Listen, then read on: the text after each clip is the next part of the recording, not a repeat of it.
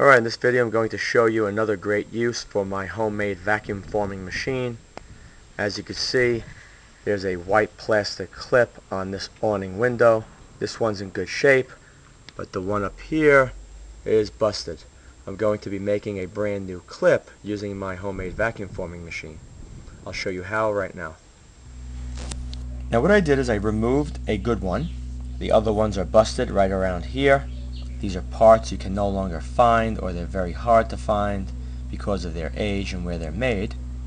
So I'm going to take these two rivets right here that are in position to be able to move around. Going to drill the back side out and then lift each one of these off so I have the piece of plastic all ready to go into my vacuum forming machine. Let me drill those off and I'll come back with the vacuum forming machine and this piece of plastic in position. Alright, this has been removed. I drilled out the rivets. Now I'm going to get my vacuum former all ready to go, which is right there. There's my vacuum pump, and I have my heat gun, and there is the forming material. Alright, this is my vacuum forming plate that I made. I do have a few other videos you may want to check out. Take the part, position that right in the middle, like that. Take a piece of splint material out of here. This is acrylic. I actually have two different thicknesses. This is a, I think a .040, and this one here is 020.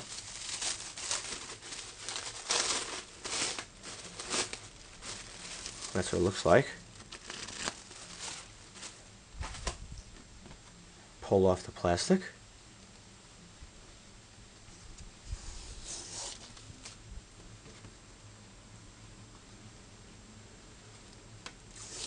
Lay it right on top, centered. Apply the top ring. Apply my clamps.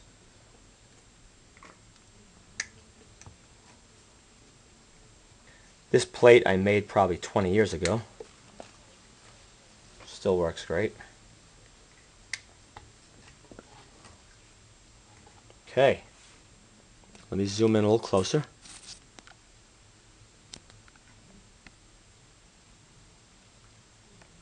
Now the next step is I'm going to apply heat to this acrylic until it becomes extremely pliable. Once it's very pliable using this heat gun, I'm going to turn on my vacuum pump and that's going to draw all the air out of this area below this plastic and it will conform to that piece that I'm making. Here we go. Let me apply the heat.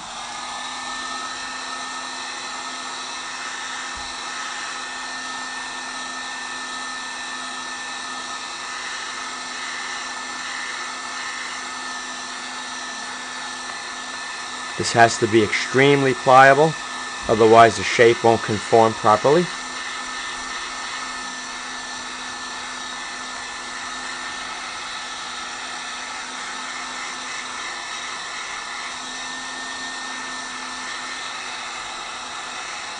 Any minute I will turn on the vacuum pump switch and it will be drawn straight down.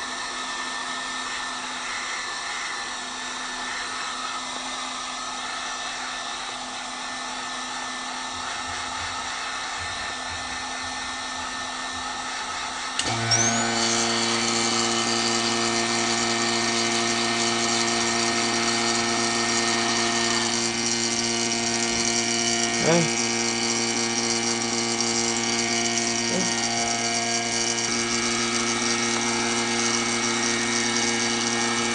Apply a little more heat at the bottom.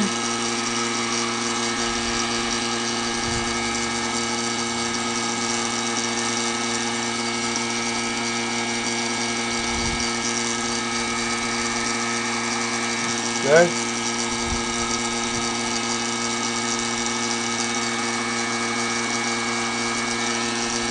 Hold that there to protect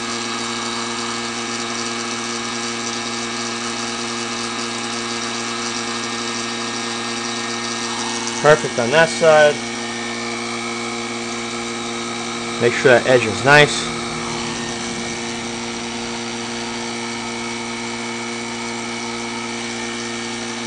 Here.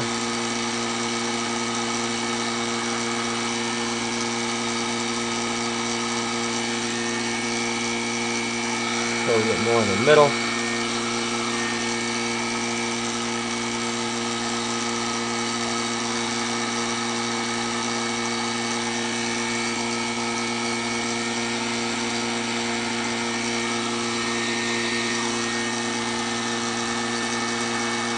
Ensure all the edges are down.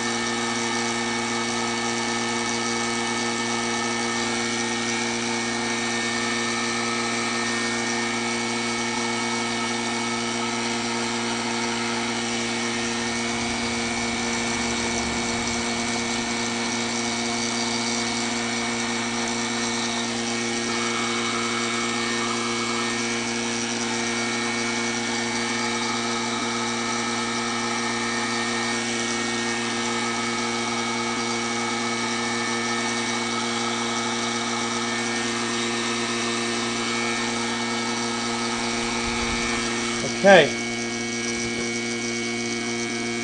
That is perfection. All the edges are nice and flat. Let this cool a minute and then I can turn off the vacuum pump.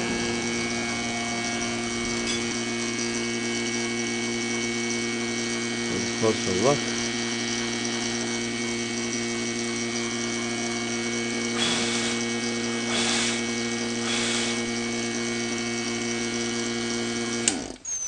That's it. Remove the clips.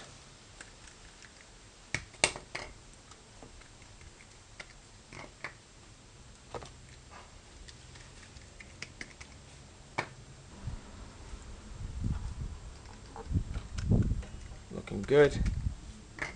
Take the ring off and lift this straight out.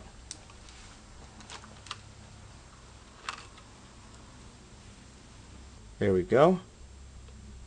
Nice and flat. Well formed. Let's take a look at the back.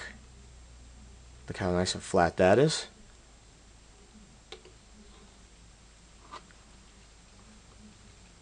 All ready to be removed. Then I could pour epoxy resin with a little bit of reinforcing material, flush with the top, and then I could pop out the new one. It's as simple as that. Alright, this was removed. And this is what it looks like. Perfect shape. Excellent detail.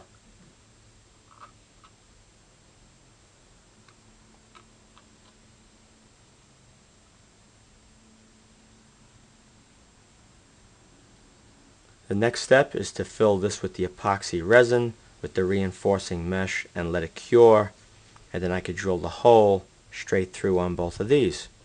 Take a file around the edges and then I'll have an exact duplicate of the piece that I need that broke. Now once the epoxy resin is poured into this cavity, I'm going to put a thin layer of it and then take this fiberglass reinforcing mesh, lay that in there as well, push it down into the resin to embed it, and then once it's down, I'll apply the top layer of epoxy resin. By adding this material, it will reinforce this piece once it's made. Alright, this is what it looks like after the resin has had time to cure overnight. I'm now going to remove the acrylic material and then I'm going to smooth out the bottom and I will be good to go. Alright, this is the one that I will be swapping out, all busted up. And here's a new one that I made. Everything is sanded down nice and smoothly. It's perfectly flat and the holes are tapped for 8-32 all ready to go. Alright, this is the finished product. It's all together. Everything is greased up. Everything slides nice and easily. New E-clip. Everything's greased up on the back.